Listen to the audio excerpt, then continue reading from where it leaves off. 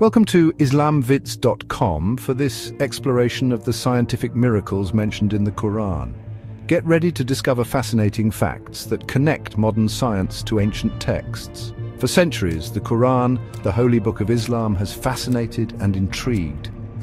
Today we're going to look at verses that seem to describe with astonishing accuracy scientific phenomena discovered much later.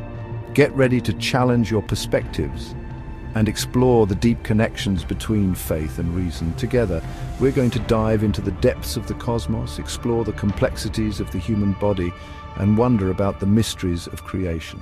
Whether you're passionate about science, a devout believer, or simply curious to learn more, this exploration promises to be full of discoveries. In the Quran, uh, Surah 51, verse 47, it is written, and the heaven we have built it with power, and indeed we are expanding it. Pretty bold, right? Especially when you know that this text was revealed more than 1400 years ago. At the time, everyone thought the universe was static.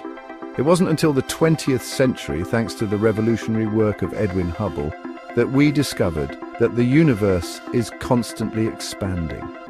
Imagine Entire galaxies moving away from each other at incredible speeds, like dots on a balloon being inflated. The Quran, long before telescopes and complicated calculations, evokes this phenomenon with disconcerting simplicity. This link between the sacred text and scientific discovery is disturbing, to say the least. Simple coincidence? Or does it suggest a knowledge that goes beyond our current understanding of the universe? The Quran is not limited to the cosmos, it also talks about the earth. Verse 16 of Surah 78 tells us, And he has cast into the earth firmly set mountains, lest it should shake with you. For a long time we saw mountains as simple landforms. Today, geology teaches us that they are essential to the stability of the Earth's crust. Their deep roots sink into the Earth's mantle and act as stabilizers against tectonic movements. Imagine huge stakes holding a tent against strong winds. The Quran, centuries before the discovery of plate tectonics, described the importance of mountains for our planet. Again, where does this seemingly timeless knowledge come from?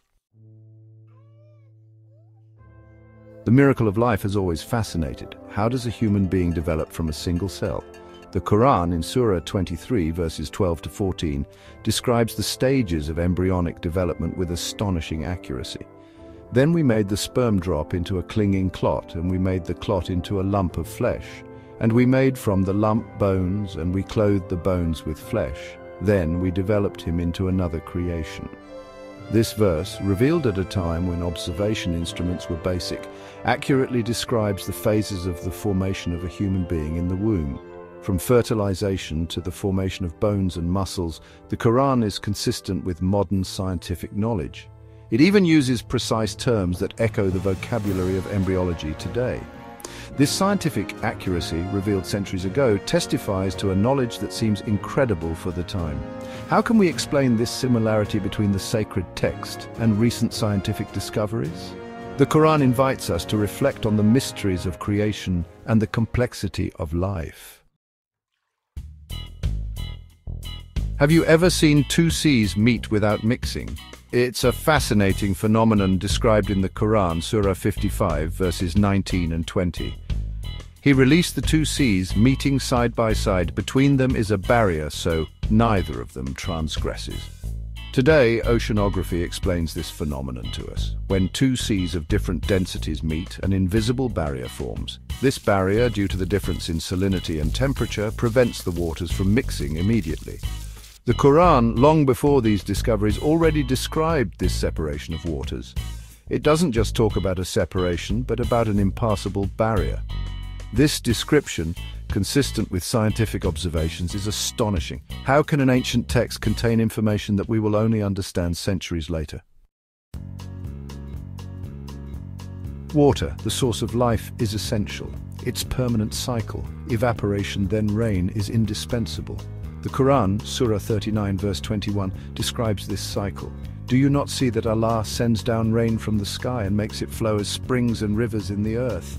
This verse summarizes the hydrological cycle. Water evaporates, forms clouds, then falls back as rain, feeding rivers and groundwater. The Quran, long before we understood this cycle, described it accurately. With measure suggests a precise quantity of water, an idea of balance. This description invites us to preserve this vital resource.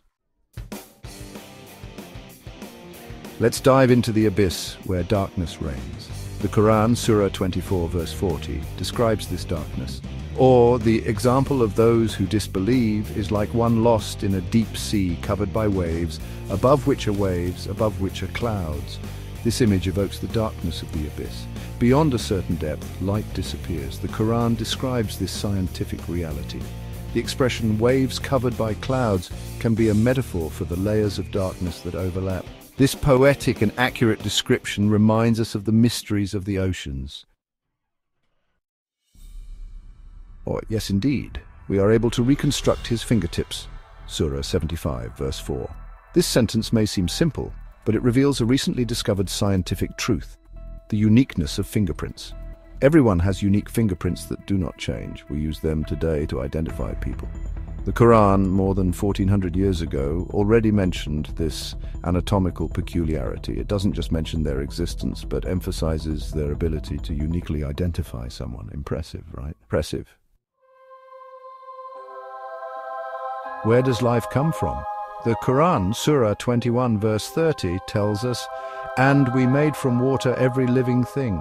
This simple statement aligns with recent scientific discoveries. Modern science confirms that water is essential for life. It is a universal solvent which allows the chemical reactions necessary for life. Water is also crucial for the structure and function of cells.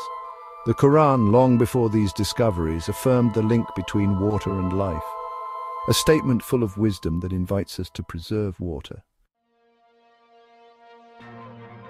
How was the universe born? The Quran, Surah 41, verse 11, describes the early universe as smoke. Then he directed himself to the heaven while it was smoke. This image may surprise you, but it echoes the Big Bang Theory. According to this theory, the universe was born from an explosion about 13.8 billion years ago. Just afterward, the universe was a dense, hot magma of particles. This magma, as it cooled, created atoms, then stars and galaxies.